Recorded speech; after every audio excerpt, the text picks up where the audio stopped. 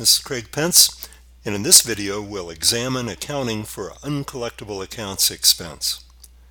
When companies begin to make sales on credit, they open the door to a huge number of record-keeping complications and costs.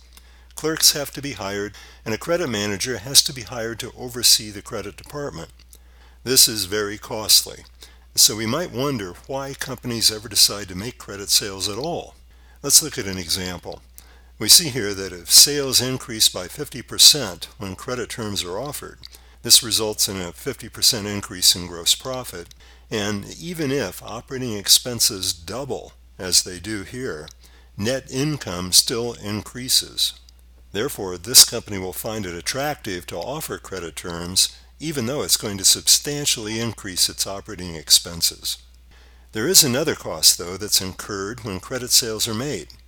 This cost is referred to as a bad debt loss or an uncollectible account expense, and it occurs when a sale is made to a customer who simply never pays. When accounts go bad, the company must write off the customer's account receivable balance. Companies generally have two methods they can use. One is called the direct write-off method, and the other is called the allowance method. Direct write-off is the simplest. When the company realizes that one of its accounts will never be collected, it writes off the account by crediting accounts receivable. It then debits an expense account called uncollectible accounts expense or sometimes bad debts expense. The direct write-off method is very straightforward, but there's a problem with it. Namely, it violates the matching principle if you recall from the earlier videos, the matching principle tells us that in order to accurately determine the net income for a period, the expenses that were incurred in that period should be reported on the same period's income statement. That way the expenses will be matched up with the revenues they help produce. When expenses and revenues are mismatched between accounting periods, the result will be a distorted net income figure. Let's look at an example. If $120,000 in credit sales are made in year 20x1, then $120,000 of revenue will be reported on the 20x1 income statement. Let's say that none of the accounts become uncollectible until 20x2, and at that time a $900 account is written off as uncollectible. And herein lies the problem. Under the direct write-off method, the uncollectible account expense will be recorded in 20x2, but the sales revenue was recorded in 20x1. This uncollectible account expense is one of the expenses that were incurred in order to generate the 20x1 sales revenue, and it was incurred during 20x1 when the sale was made to the wrong person.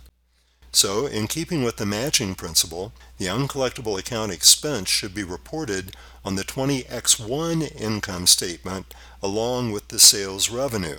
Use of the direct write-off method does not allow us to do this, but another method, the allowance method, does. And this is why direct write-off is not allowed under generally accepted accounting principles, but the allowance method is. Here's how the allowance method works. At the end of 20x1, before any of the accounts go bad, we estimate the amount of uncollectible accounts and we make an end of period entry to record the expense. This will allow us to follow the matching principle and record the expense in 20x1 so it can be placed on the 20x1 income statement. It's only an estimate though, and there will always be error in our estimate. In accounting, when we're reasonably certain that an expense has been incurred, and we can make a reasonable estimate of the amount, then we record the expense. If anyone criticizes us for putting an estimated expense on the income statement, we can simply ask what they'd prefer. Should we record an estimated expense that might be wrong by $100 or so, or simply not record any expense at all and be wrong by thousands?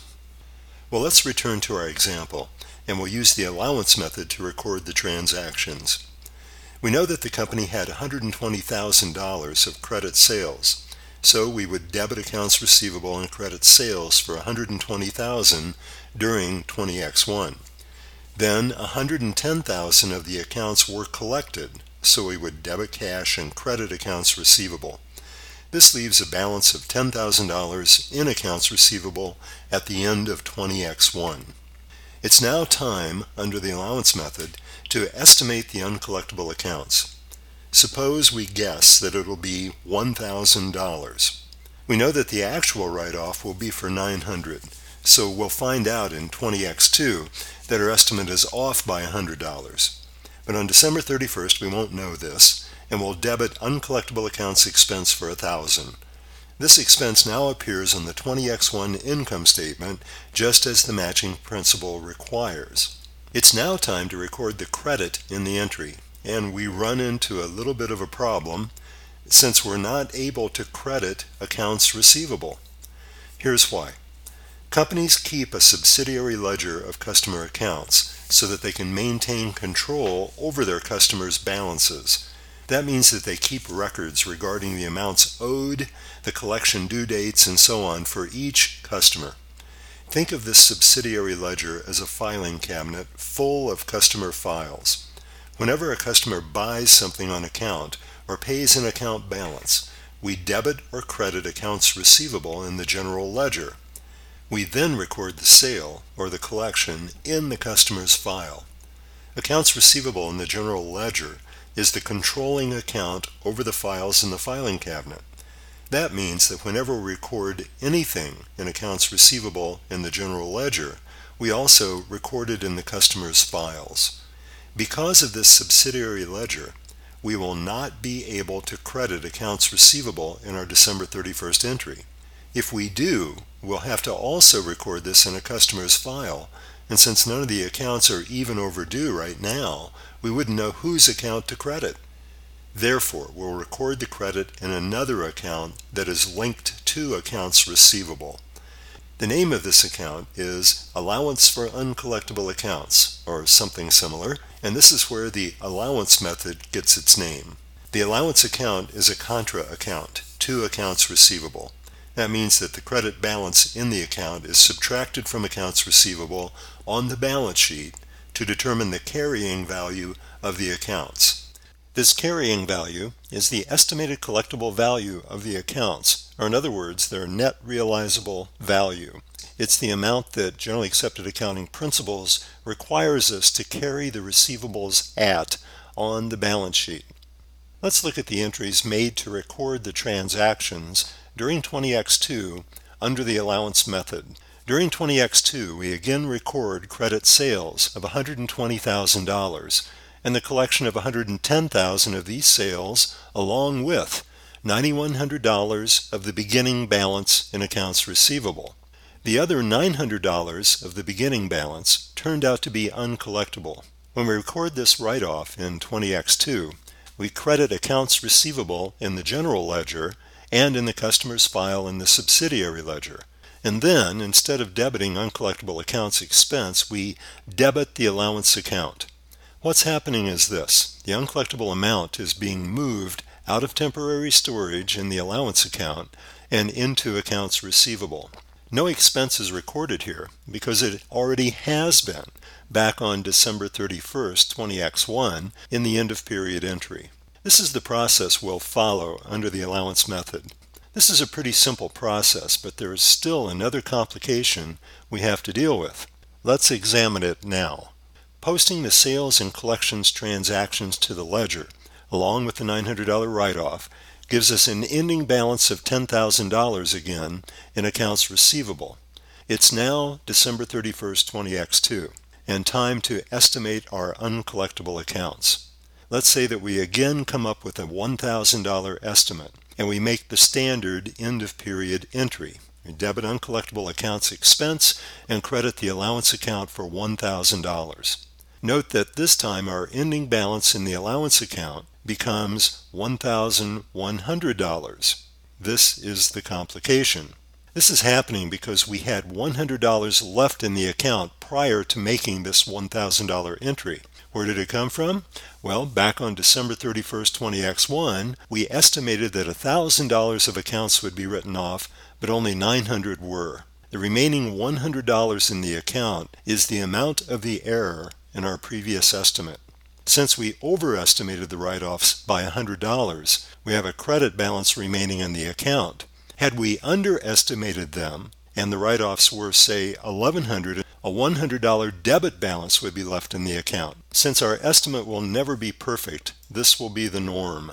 We should expect that there will be a debit or a credit balance, hopefully a small one, left in the allowance account at the end of every accounting period. What do we do about this? Well, there are two approaches that are used. In the first, we do nothing at all. We simply make the entry just as we did for the $1,000 estimate. Note that under this approach, the balance in uncollectible accounts expense will be $1,000, equal to our estimate, so the income statement will report our estimated expense just fine. However, the balance in the allowance account will be $1,100. This is not our estimate for uncollectible accounts, so the amount reported for the net realizable value of the accounts on the balance sheet will not be equal to the estimated collectible value of the accounts. This is the approach that's taken when the estimate is based on sales data. That is, if we determine the estimate by multiplying our sales balance by some percentage, or obtain the estimate in any other way from the sales of the period, then we assume that it's the expense that is being estimated, and in that case, we want the expense amount on the income statement to be equal to our estimate. And we don't care about the misstatement of the net realizable value of the accounts on the balance sheet. This is called an income statement approach. However, if we base our estimate on the accounts themselves, either by taking a percentage of the balance in accounts receivable or by aging the accounts in some way, then we're using a balance sheet approach and the process changes. Now we assume that we're estimating the amount of the uncollectible accounts to report on the balance sheet and not the amount of the expense to report on the income statement. Therefore, we now want the balance that's left in the allowance account to be equal to our estimate. In our case, since there's a $100 balance in the uh, account prior to making the end of period entry, and we want the balance to be 1000 we'll need to credit the allowance account for 900 this means that uncollectible accounts expense will be debited for 900 and that $900 will be reported on the income statement instead of 1000 That's okay with us. We're able to report a $9,000 net realizable value for the accounts on the balance sheet, and that is our goal under this balance sheet approach. To summarize, under the allowance method, two approaches are acceptable. The income statement approach requires us to estimate the uncollectible account expense and make the end of period entry for the amount of the estimate. Any existing balance in the allowance account is ignored.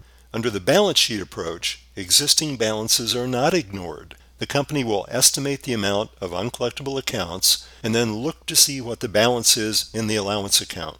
When there's a credit balance remaining, such as our $100 credit balance in our example, then the company will make the end of period entry for an amount that's equal to the estimate minus the existing credit balance. For us, that was $1,000 minus $100, which gave us the $900 amount to use in our entry. Note that if there was a debit balance in the allowance account, the entry would be made for the estimate plus the existing debit balance. For example, if we had a $100 debit balance in our account, we would need to credit the allowance account for $1,100 in order to leave a $1,000 balance. In that case, the income statement would report an $1,100 expense amount. Which of all these methods and approaches should the company use? Well, first, because direct write-off violates the matching principle, a company could only use it when it has a very small amount of receivables and account write-offs. In that case, the difference between doing it the right way, using the allowance method, and the wrong way, using direct write-off, will be too small to matter. The principle of materiality will apply, and the company can justify use of the direct write-off method based on materiality.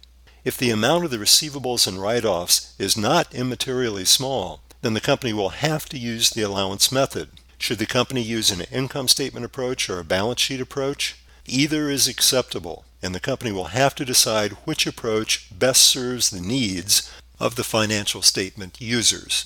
Once a choice has been made, the company should apply it consistently. This is in keeping with the accounting principle of consistency. Well, this ends our video, and I hope it's been helpful to you.